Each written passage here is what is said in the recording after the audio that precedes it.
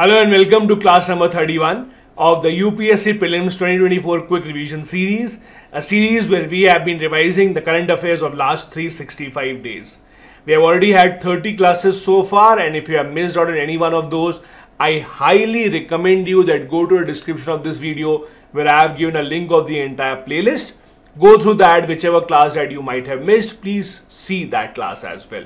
Do hit the subscribe button if you have not done so far and also if you need to get or if you need to download the PDF of all these classes, you can join the Telegram channel. The link is again in the description of the video where I upload PDFs of all these lectures. On that note, let's begin with the current affairs of science and technology that we have been doing for the past couple of classes. First, the CAR T cell therapy. now, this is a very, very big achievement in the treatment of cancer. So basically some scientists in India working at IIT Bombay, they have been able to develop India's first homegrown CAR T cell therapy for cancer treatment. So the idea is simple. T cells are those cells that are responsible for building immunity in our body. Now the idea is that the scientists will take out certain T cells from our body. They will basically then continue to have certain gene editing in those cells. They will try and modify the characteristics of that cell. They will then multiply it and then they will insert it back into the body, hoping that now those cells will be able to fight against cancer.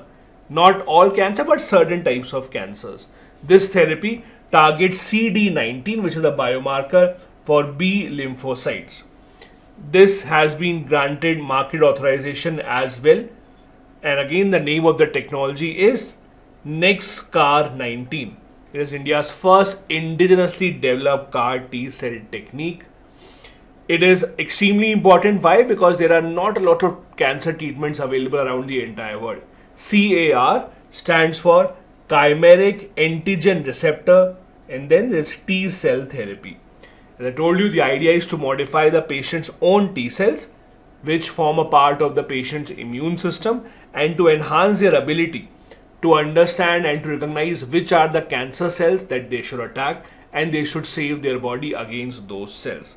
These T cells are cytotoxic cells and they fight against infection, they fight against illnesses. There was a lot of talk about T cells when COVID-19 crisis was at its peak, when uh, we were all talking about the T cells in the body, how to bring up their power because they are the ones who form a part of our immune system. This is how that therapy works. As I said first, T cell will be extracted from the patient's blood. Then there will be genetic modification done to express these chimeric antigen receptors and target a specific cancer antigen. These modified T cells will then be cultured, they will be multiplied. They will then be infused back into the patient's bloodstream and then these cells eventually will bind themselves to the cancer cells and then it will lead to destruction of the immune system. Now this is again more based on theory although a lot of experiments have been done here. So hopefully when it rolls out in commercial scale it will be able to give the kind of results that we have seen in lab testing conditions as well. The second news is about malaria vaccine. The Serum Institute of India has started exporting these vaccines to Africa. Now, please understand, this is not the first ever malaria vaccine. This is the second malaria vaccine. We already have a malaria vaccine that was given approval by WHO. This malaria vaccine that is being produced by Serum Institute of India is supposed to have much better result. It's supposed to give much more protection. Its uh, uh, efficiency is much higher as compared to the first one. The first vaccine was RTS SAS01. That was the first one which was given approval by WHO in 2021. This vaccine, the second one is R21 or Matrix M. It is specifically for prevention of malaria in children. As I said, the big difference is the efficiency. The second vaccine has been able to reach a target of 75% efficacy, which was not the case with the first vaccine. This has been developed by the University of Oxford. Serum Institute of India is the main producing partner. Then trials and partnerships have been done at European and developing countries, trial, clinical trial partnership. So all these have worked together Most of the malaria cases are found in Africa and in India as well. So it's now being exported to Africa. It has already been approved in multiple African countries such as Nigeria, Ghana and Burkina Faso. It will be rolled out in these African countries in 2024, that is this year, and will be available in most other countries by the end of this year. India also, as you know, has been grappling with malaria cases. See, malaria and these kind of diseases are directly proportional to the lack of hygiene. The lack of hygiene, uh, which is whichever, uh, wherever there is found, or it's found, that is where you will see these malaria cases. Also, tropical countries which provide the climatic condition necessary for insects such as mosquito. This is where you will see malaria cases. That is where India, African countries are much more susceptible to these kind of cases as, as compared to other countries. Like in US, etc., you will not see a lot of malaria cases. However, now with changing climate, you do see certain cases popping up there. And you can connect it to what happened during, during COVID-19 crisis. If you remember, when the COVID-19 crisis first started, and no one knew what medicine should be used for the patients, there were some people who started to say that hydroxychloroquine will help in treating or in at least making the condition of the patients better. Now, hydroxychloroquine is a very common drug, it's given to malaria patients only. If you remember, America did not have this drug. It's not because it's very difficult to manufacture, but just because malaria cases are not found in US, so they never had a stock of these medicines hydroxychloroquine while India had. So India supplied a large amount of these hydroxychloroquine tablets to America during the COVID-19 crisis. So again, that is a connection. Malaria, as you know, is a mosquito-borne blood disease mainly. It has crores of cases every single year across the entire country. It mainly affects children under 5. Children under 5 account for 80% of the deaths in the WHO African region. Uh, it ha there have been multiple techniques that have been worked upon to try and curtail malaria. Genetic engineering technique, the gene drive, could help in eradicating this malaria that is caused by mosquitoes. WHO is running an initiative called E2025 apart from the global technical strategy for malaria from 2016 to 2030. Indian government itself in 2017 had launched a five-year plan for malaria elimination but as you can imagine five years completed in 2022 but malaria still exists in India. In 2022 in fact we had over 45,000 cases so we are still grappling with that. Next topic there was study done on Y chromosome and how it works exactly how has it evolved. Now as you know two chromosomes X and Y are extremely important in determining the gender of the person and also the genetic makeup. As you know, females have XX chromosomes, while a male would have X and Y chromosome. So Y is one of the sex chromosomes that is used to determine the biological sex of the person. It carries important genes which are important for male development and around 66% of it is made up of repetitive DNA sequence because it's repetitive it's called the junk DNA. Y chromosome is important because it helps us in tracing paternal ancestry. So who was your father, then your grandfather, great grandfather from the male side to determine your lineage. Y chromosome plays an important part. The reason being it is passed on from father to the son. That is why understanding and studying what Y chromosome can give you important information about the male side of your ancestors. These are the main differences between X and Y chromosomes as you should know. Y chromosome can be contributed, sorry, X chromosome can be contributed through eggs or sperm. Basically can be contributed by female also and can be contributed by male as well. While Y chromosome, it is only in the male, so it can only be contributed through the sperm. The size of the X chromosome is longer. It has about 900 protein coding genes. For Y chromosome, the size is smaller. X chromosome, as I said, is present in both males and females, while the Y chromosome is only in the males. About 5% of the entire human genome consists of X chromosomes, and about 2% of the entire human genome is consisting of Y chromosome. Next, the scientists have been trying to find out how the life began on Earth, and that is how we have something in the news called the protosterol biota. Scientists have discovered that eukaryotic life appeared to flourish much late in the history of our planet, but we have found out that the first evidence of life on Earth was actually underwater. It is now, I won't say it's a surprise, most of the science now knows that if you look at evolution of life on Earth, it all began underwater. So, fish was the first living kind of organism and then it evolved to other species later on. Fossilized protosterol biota have been found in Australia near a rock in Northern Territory. It belongs to the eukaryotes family. Now, as you know, there are two types of these organisms that can be defined depending upon the makeup of their cell. They are prokaryotes and eukaryotes. Prokaryotes are those that are represented by bacteria and archaea. They mainly reproduce through binary fission. They can be single celled or they can be multicellular as well with a well defined nucleus. Eukaryotes, on the other hand, can have multiple ways of reproduction. They have a domain called eukarya and they have higher cellular specialization and much more complex organisms such as the human beings.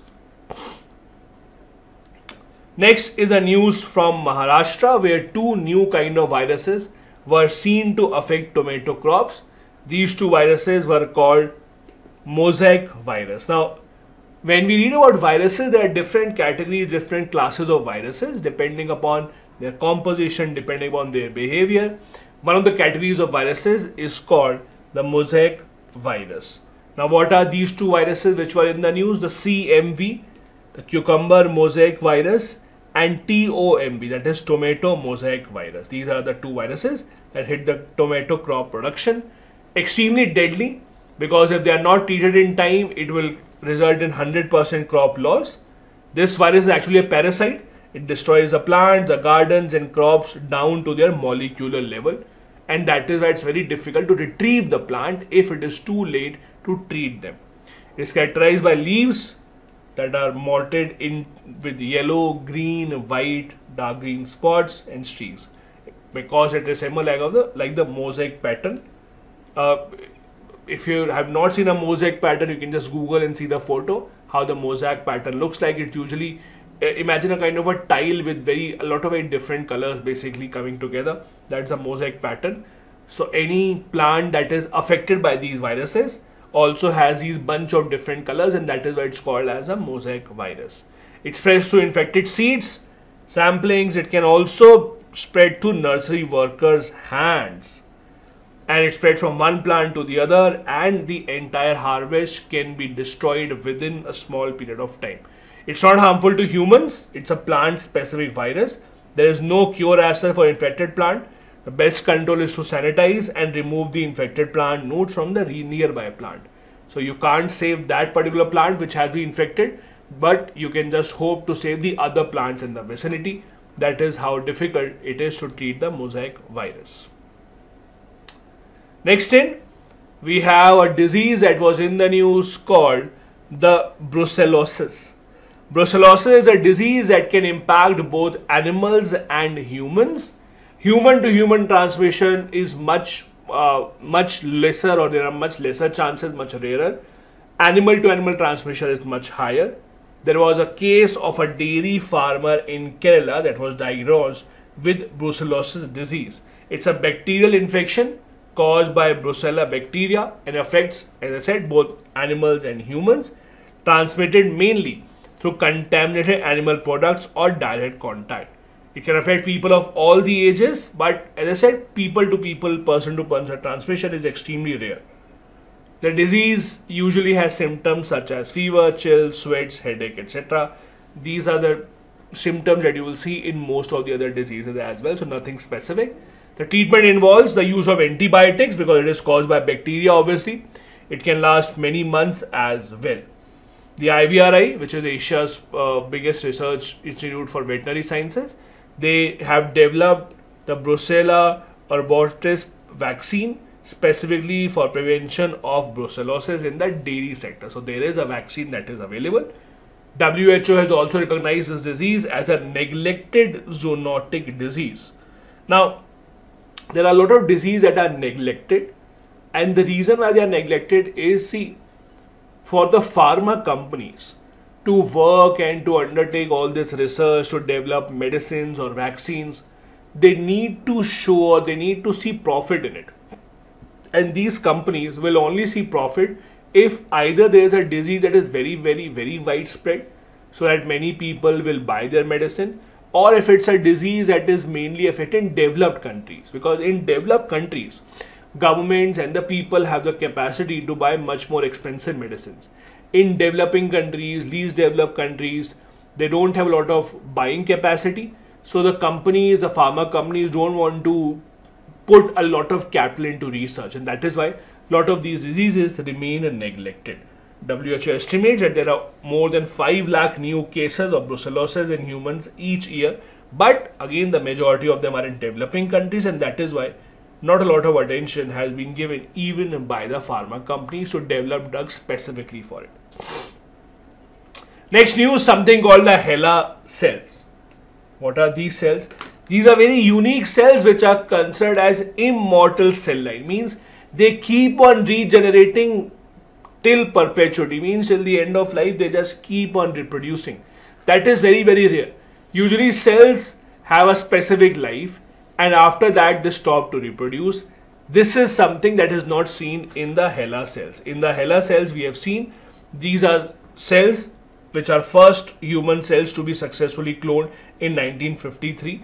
These are cells that have been used for research for a lot of purposes and their interesting abilities again as I said they keep on reproducing. HeLa stands for Henrietta Lacks. Henrietta Lacks was the first patient from which these cells were actually derived. This was the first patient, the African American woman who contributed these cells during her treatment for the cervical cancer Remember, these were the first human cell that was successfully cloned in 1953. They're important because they can keep on reproducing and they can replicate continuously in culture. Now, culture, you would hear this word culture time and time again. Culture basically is a word that you use related to diagnostic when you undertake certain diagnostic tests. Culture basically is kind of an artificial uh, environment created for the cells to multiply or to see if there is some reaction to the cells. For example, you have your urine test. Now, urine test, one of those tests is called urine culture test. So basically that is kept for some time and seen whether there is some bacterial activity, whether there is some other activity in that and whether we can find out some other important details from that particular urine.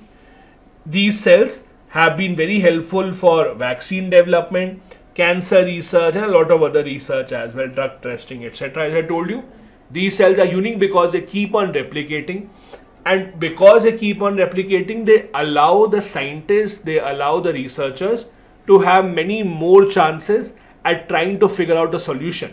When you have a specific cell that does not replicate, it just basically it's limited in number, then you have to be much more sure of your treatment and research but with these kind of cells that keep on replicating, you have many more chances of undertaking research and trying to see if you can find out the perfect solution. These are immortal cell lines because they can divide indefinitely under the right conditions. These are extremely, extremely valuable for scientific research. They can be grown in large quantities. They also provide a very consistent reproducible model. Also, these human cell cultures die within, usually the other human cells die within a specific number of cell divisions after which they do not survive.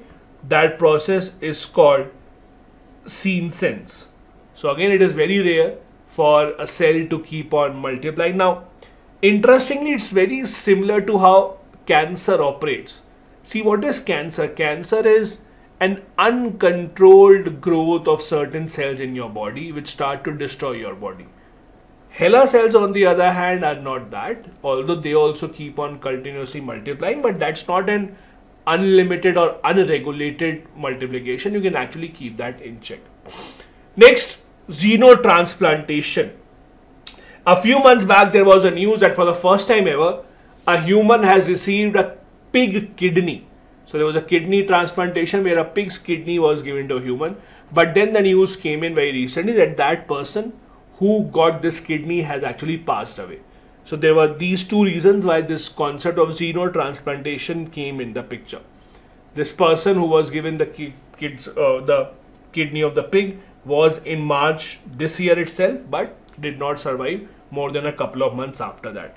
Now, why is it in the news? Because now there are a lot of research going on to basically have lab grown organs rather than taking it from any animal. Why not grow the organs in the lab itself? Chinese scientists have grown humanized kidneys which have human cells. So, in order to ensure that maybe we don't need to take it from the animals, these kind of organs may be grown in the labs itself. Xenotransplantation is a process that involves transplantation into a human, either live cells, tissue or organs from a non-human animal source. So non-human animal source, for example, such as a pig. These cells or tissues are called xenografts or xenotransplants. Now it's important to understand why are pigs used for this. Now this is not the first case of a pig being used to transplant an organ. The, for the kidney, it was first ever, but this is not the only time when animals and their organs have been used. Now, pigs are a very popular source of taking these organs and then transplanting to humans. Why? First, they have similar organs as compared to humans and they have a large litter size. Now, what is this? Litter basically means the number of children that they have. So, when a pig reproduces, usually there is a large number of uh, pups that are actually born so pig usually when they reproduce they might have 8 10 12 babies meaning that their population is not very small because one of the concerns that happen when you take a pig and then you take away their organ is you are dwindling their population maybe if they are limited in number they will go extinct that is an ethical issue so an ethical question is, is raised basically about their population, about their growth. So when you can prove that this animal has a lot of population, the population is not going anywhere, that becomes easier. So that is why we have chosen pigs as compared to animals such as monkeys and apes that are also similar to humans because of their large litter size. Again, litter is that group of babies that they reproduce. They have short gestation period also. So short gestation period means the number of months it takes for them to reproduce a baby. For example, in humans, the gestation period is 9 months. So pigs have a shorter gestation period, they can reproduce quickly and they reproduce much, much more. And that is why are lesser ethical concerns of using pigs for such processes as compared to the other animals. Also, the heart walls of the pigs have been successfully used in humans. Pig intestines can produce blood thinner.